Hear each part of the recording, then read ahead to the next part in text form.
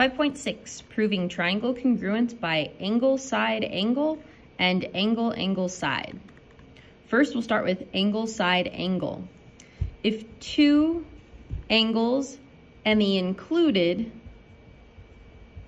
and that means between, the, the included side of one triangle are congruent to two angles and the included side of a second triangle, then the two triangles are congruent. So this is another minimum amount of information that you need to say that two triangles are congruent. This is called the angle side angle.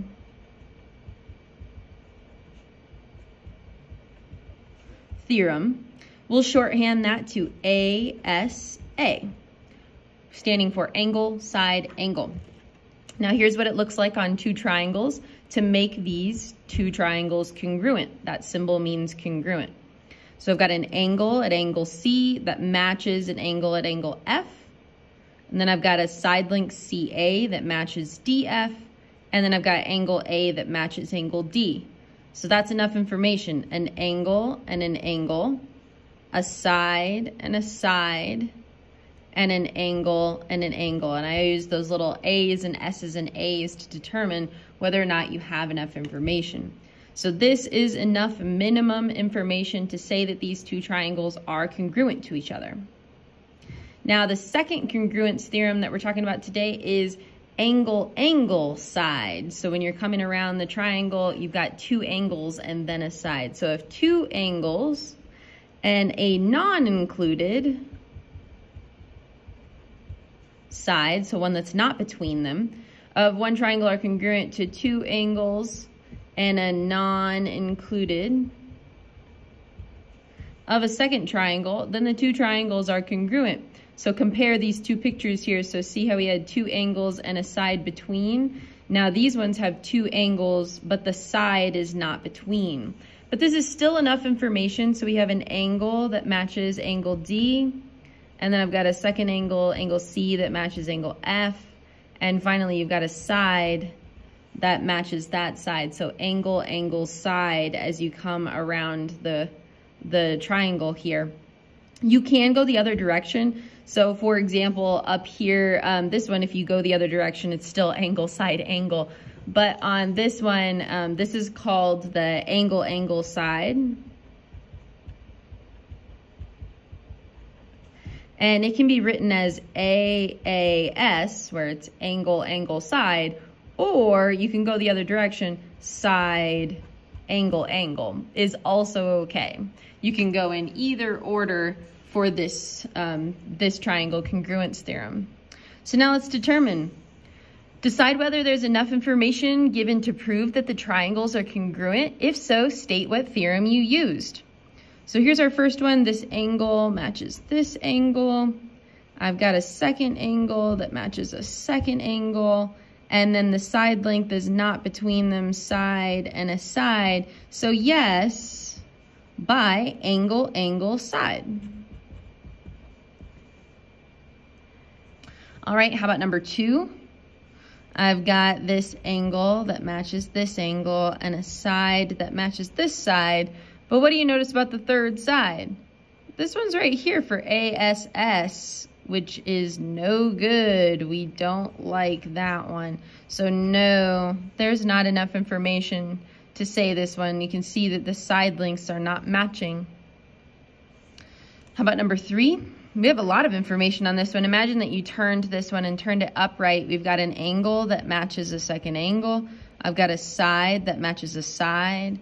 And now I've got a side length that matches um, included. So yes, by angle, side, angle. But then also if you go around the triangle and, and you match this double side length with this double side length, you've also got SAS. So you have got, this is, these are congruent by ASA and SAS. Both. Let's try some more.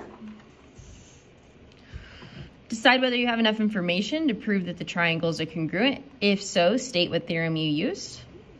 So we've got a small angle that matches a small angle, a side that matches a side, and another obtuse angle that matches an obtuse angle. So yes by ASA.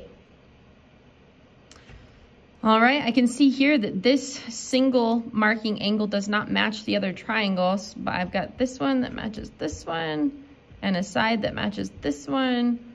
But no, these, these last angles are not congruent, so no, there's not enough information. All right, and then this last one, we've got kind of two triangles on top of each other here. And the most important thing to note is that this third side is a shared side.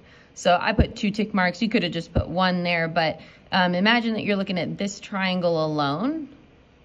If you're looking at this triangle alone, I've got an angle and an angle and a side, so SAA.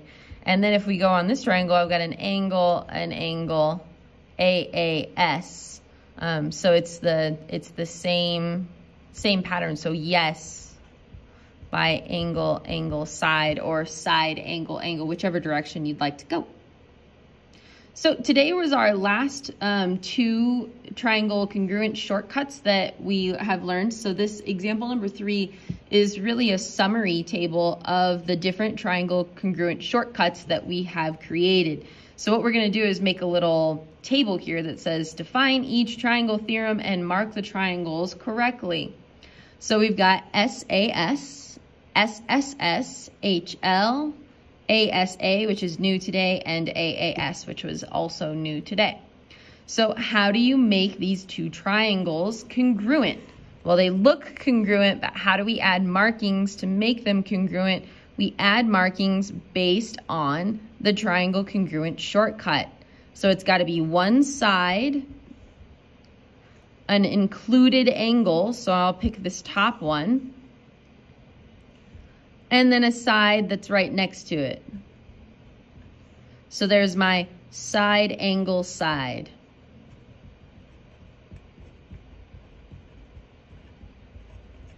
Side angle side. All right, the next one we learned was SSS. That's where you know that all three sides are congruent. Side, side, side. All right, HL, it even tells you that this is for right triangles only, so we have to make this corner a right triangle. HL stands for hypotenuse leg, which means that my hypotenuse has to match, so that's the one that's opposite of the 90 degree angle, and then one leg. So I'll just choose the short leg. You could have chosen the longer leg, but if you have a right triangle, and the hypotenuse and one leg match, then you've got two congruent triangles. All right, our new ones today, ASA. So I need an angle and a side between it and another angle. So angle, side, angle. And finally, our last one is AAS. So that's where you've got two angles and then a side that's not between them. So I've got an angle and an angle and a side and an angle and an angle and a side. Angle, angle, side. Thank you.